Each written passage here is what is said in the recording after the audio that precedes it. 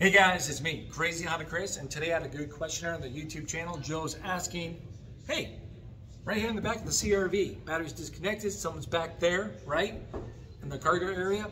Is there a release button? Where is it at? Well, I'm gonna show you guys right now how to access that. You can double check that for older models too as well, okay? So let's dive in and get going. All right, so you guys got your key fob right here, okay? There's gonna be a release button right here on your key fob. So let's kind of get right in here. You wanna fold the seat down so you can climb in. Here we go. Got it out. All right, so you're gonna need this.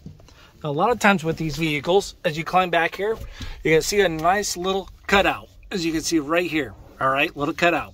So you need something small and skinny to pop that open. Just like that. Now, as we get a little closer look, you can see you got one little spring level right here.